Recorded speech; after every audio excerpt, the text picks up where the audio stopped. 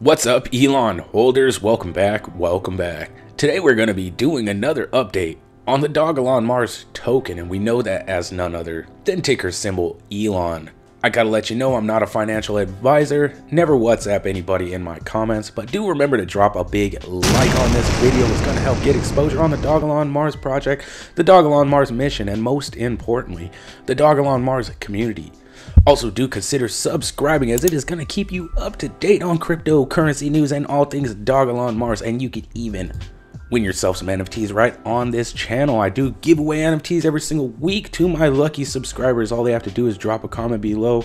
Be subscribed, as simple as that. They're to win one of these NFTs, and every single holder of these NFTs that mints out or is holding an NFT will receive an airdrop of the Degen Ape Life V2 token that will be pre-selling this month.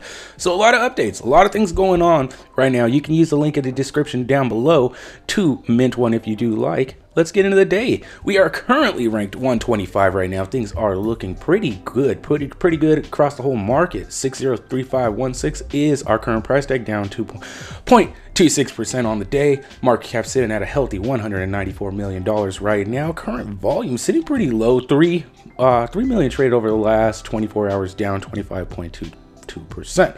Not horrible, not horrible. A lot of volume coming out of centralized exchanges. Uh, low volume coming out of the decentralized exchanges, but uh, still pretty high. 300K basically out of decentralized exchanges in the last 24 hours.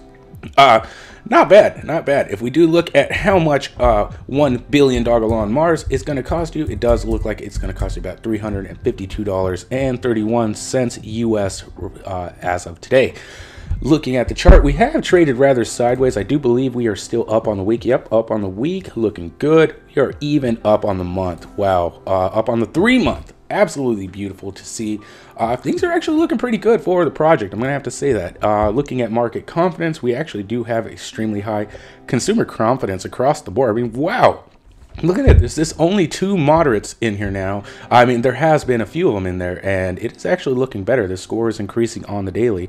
KuCoin being our number one source of volume, $302,000 traded out of KuCoin in the last 24 hours, and a Uniswap. Gemini and uh, Crypto.com, we do know are, are bigger centralized exchanges as well. If we do look at holder count, though, this is where we get in here 100 145,191 holders. We did have a little bit of a cool off. Nothing major though. I mean, we're still sitting really healthy with 145k holders. Very, I mean, just a month ago we were at sitting at 141,000. So this is actually pretty, pretty nice growth.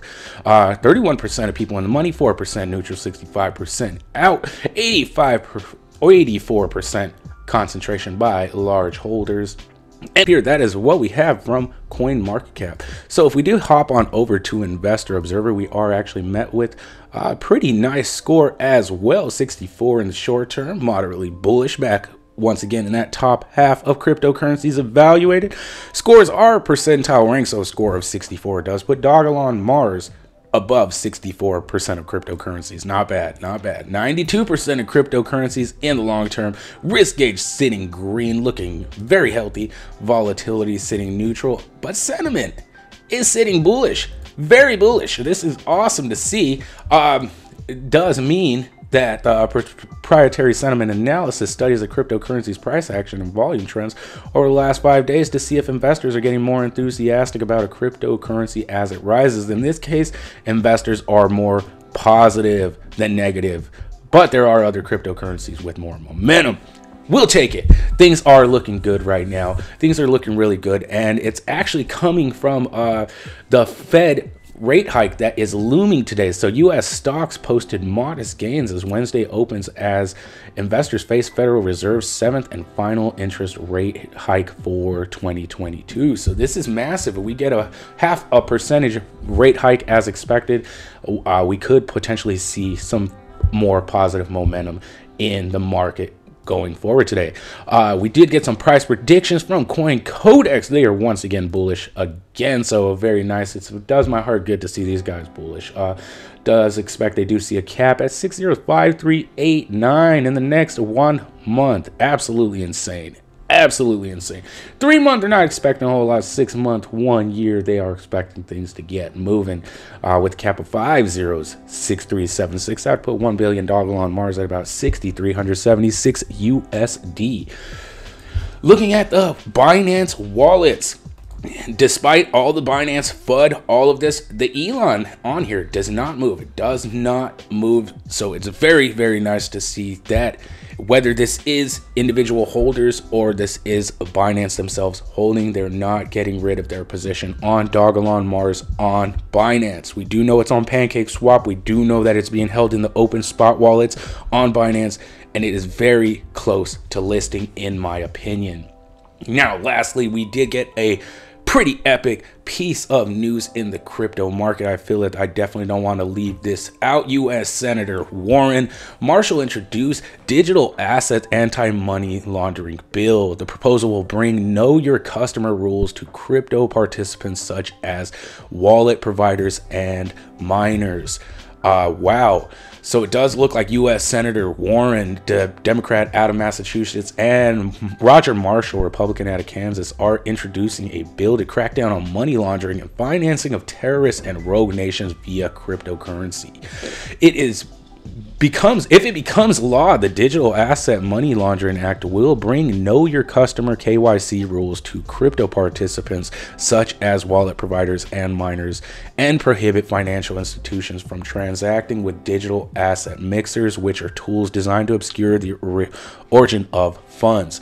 The act would also follow the financial crime enforcement network fincen to implement a proposed rule requiring institutions to report certain transactions involving unhosted hosted wallets.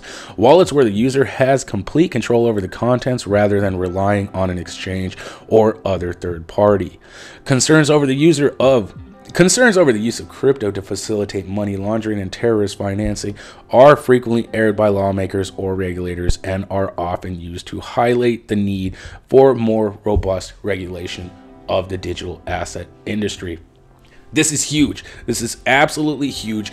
It is what is expected with the FTX collapse, with the Binance FUD and insolvency FUDs that is going on around around. It is definitely going to be the next step. I do see lawmakers uh, pushing the regulation a little bit harder and faster, and it does look like that is what is happening. But as we do get the regulation, there is a silver lining. Hopefully, it doesn't get over regulated but we do we we will see the bad actors cut out of the space and an overall more healthy crypto market in my opinion with the regulation. I'm not for regulation. I'm not 100% for regulation. I am for institutional money and sovereign wealth being able to come into the space comfortably and for everybody else as well as individual retail investors to have a safe place to trade. That is something I am a proponent for. I would like to see that in the crypto market. I'd like to see that for each and every one of you guys so that we could make actual gains out in the market and expand as a technological revolutionary field that we actually are. I do see so much massive potential in the field that we have yet to uncrack. So that's what I got for you guys today. I thank each and every one of you guys for watching, and I will catch you in the next one.